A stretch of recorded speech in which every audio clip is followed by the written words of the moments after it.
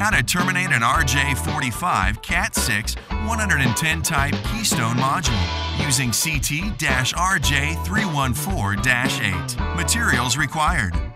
Rapid Jack Tool, Cable Prep Tool, Cat6 RJ45 Keystone Module, Side Cutters, Needle Nose Pliers, 4 pair Cat6 UTP solid cable, blue. Step 1. Cut the specified length of Cat6 UTP 4 pair cable and insert into the cable prep tool. Rotate in one direction 1 to 2 turns. Step 2. The UTP cable will be scored. Remove the jacket exposing the 8 insulated conductors and a nylon thread pull string.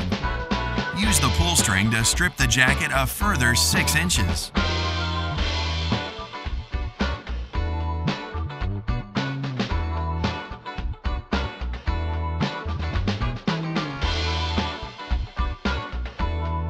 Step 3.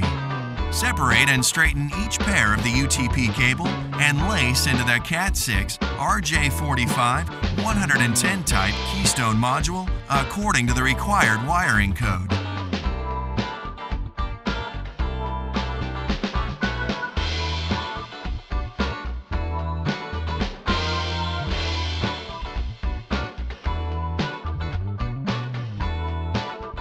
Step 4.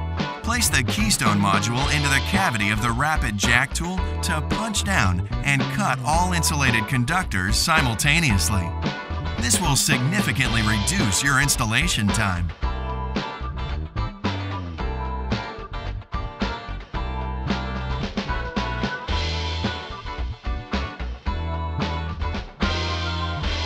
Step 5.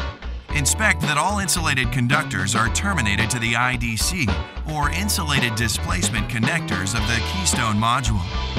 Remember to secure the protective cap when complete. Step 6. Insert the Keystone module into the designated TSOC wall plate, surface box, or patch panel.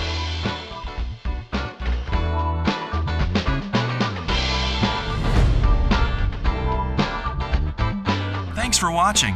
Visit TSOC.com for more TSOC minutes.